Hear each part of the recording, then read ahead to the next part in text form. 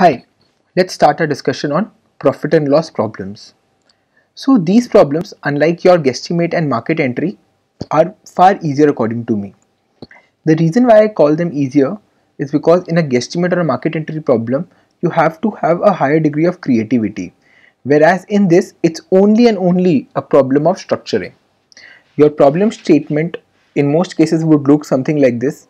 Company ABC is facing X percentage of losses for Y time period. Now, you don't have to come up with new issues. All you have to do is ask a few smart questions which we will discuss in the third uh, slide, uh, third video of this particular module. And then be very rigorous in your structure to zero in on the issue at hand. So that's usually not problematic at all. Okay, so let's see how we can achieve that. Okay, so uh, in this particular video, our main focus essentially is going to be on the different strategies that you have to adopt while structuring your problem. So here I have mentioned few of the strategies that we can adopt to structure our problem. You can already see a detailed discussion on 1, 2 and 3 in another video on my channel which goes into these aspects quite in detail. Here I will just briefly touch upon them for the sake of continuity. And uh, it is imperative that you watch the strategies video because a PNL problem cannot be solved if not structured properly and I will keep re-emphasizing on this part. Okay? Let's just look at these four aspects once so first is MECE so as we will see in the next video also most of the profit and loss problems once you have clarified your uh, initial uh, questions you will have a structure which looks like something like this. Profit is a function of revenue and cost right? So we know that your profit is revenue minus cost right? We are using MECE which is mutually exclusive and collectively exhaustive you are breaking your problem down in this case the profit into two parts such that both these parts are mutually exclusive. So revenue and cost have no overlapping aspects so they are exclusive and collectively they are exhaustive. That there is no third element here right? There is no plus or minus that I will add in a profit case here right? So this is what I mean by MECE uh, over and over again in your profit and loss problem you will try to make your problem in a MECE framework. So essentially after you start uh, solving your problem in most cases your problem will end up looking something like this. Whereas all of these your end nodes right are representing some element of the problem. Okay so it could be profits are breaking down in are broken down to revenue and cost. Revenue is broken down into volume and variety. Okay. Volume is further broken down into market size into market share. Right. All of this we will see in the next video also. But I hope you get the drift. Variable cost fixed cost. That this structure is essentially looking something like this right? So this is what we will try to do in a MECE uh, framework while trying to look at a profit and loss problem okay? Now uh, this is very generic but you will also have to go into the specifics okay? Let's say we are breaking down volume and I'm not breaking it down this way okay? Then I might break down my volume. Let's say that I am a retailer like Nike okay and I have to look at my volume so I can break it down along multiple pathways. I can go offline online okay? In offline I might say my own stores third party stores right? So I am in this case following a MECE structure. Depending on the type of case you will have you will always try to do this okay uh, with enough practice you will be able to get a hang of it so keep doing that but remember MECE is extremely important when it comes to your P&L cases. Okay. Now, the second aspect, the process mapping. Okay. I majorly use this in on the cost side of things. Okay. So let's say when I'm analyzing variable costs,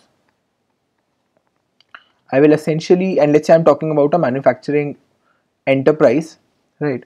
So I will simply make raw material, production, distribution, and customer service, right? And look at the variable cost involved in each of these, right? So it's fairly straightforward, right? You can use this on the revenue side also if you find something creative here. I'll take a small example that uh, uh, I will also be putting up on my channel very soon. Uh, so let's say that this was the case about a shopping mall. Okay. And uh, one of the shops was facing decline in profit. Okay. So what I did was uh, so we will now in this case we will use process mapping and MECE both. So first of all I figured okay volume into cost. Okay. Volumes were going down. Okay now to figure out the drop in volume I said okay we did a so uh, in, I'll not go into the specifics of the case. We uh, asked a lot of questions and we finally figured that not enough people were entering our shop. The number of people entering our shop had gone down okay. Now to figure out why the number of people in my shop had gone down essentially I went for the process mapping so with this example I'm just highlighting how process mapping can be used to solve a PNL problem. First I used MECE then I had some intermediate analysis which gave me the result that number of people going to my shop are going down. So I figured where the location of my shop is.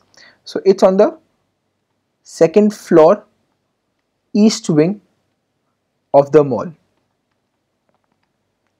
Now to zero in why the number of people coming to my shop had gone down I made a process map which was number of people going to the mall. Next step number of people going to second floor. Next step so this will be a percentage. This will be a percentage. Number of people going to the east wing. And out of these number of people going to my shop. Right? This is my shop and this is percentage right? So I use process mapping to figure out what could be going wrong. If the number of people entering my shop has gone down it could be because of any of these factors. The number of people overall coming to the mall has gone down and all of these percentages have remained the same then also the number of people in my shop will go down because of no fault of mine. Maybe number of people in the mall is fine number of people going to the second floor has gone down dramatically. It could be the case that the mall uh, has dysfunctional elevators and uh, escalators because of which not a lot of people want to go to the second floor. In this case also I will get hurt. Assume this is also fine. Then people are there in the east people are not going to the east wing after coming to the second floor. It might be the case that there is some stench or something foul going about this particular place. So people are going down here. Again no fault of mine. Or it could be the case that this is also fine. And everything else is the same just the number of people the fraction coming to my shop has gone down.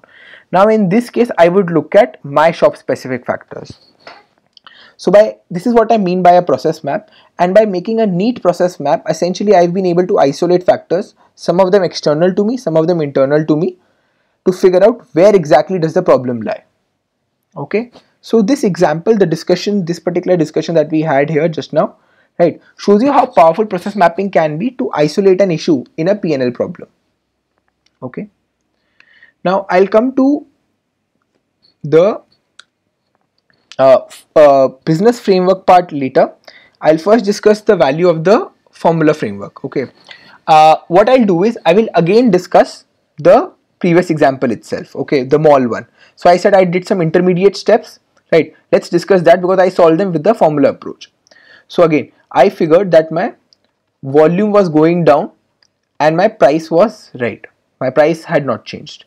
And this was causing the volume drop was causing a revenue drop which was causing a profit drop. Okay.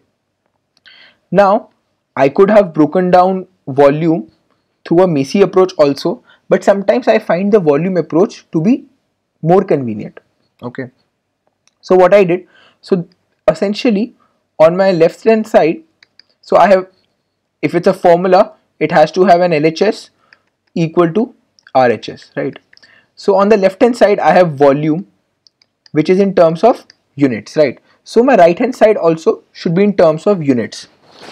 So what I had here was total number of people entering my shop into percentage of them who are buying something into average number of items bought.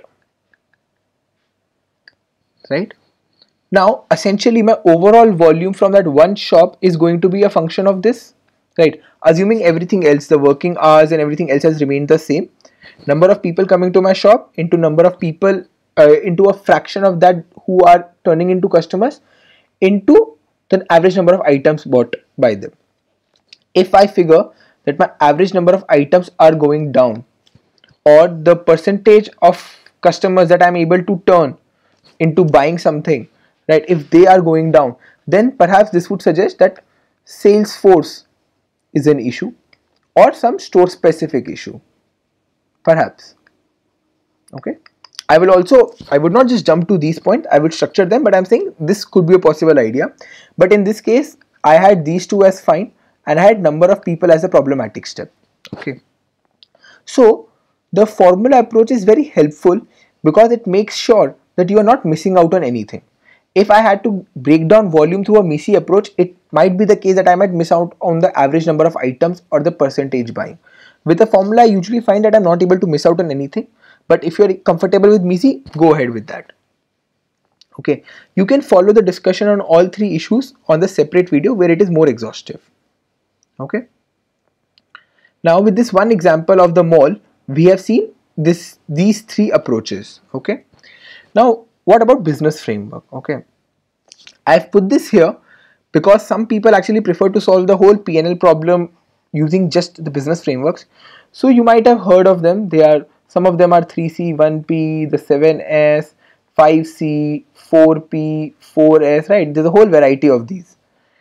Uh, I don't personally use them to solve my problem because I feel that they lead to a more unstructured problem solving and perhaps uh, most of us don't have that kind of business acumen to use them very cautiously.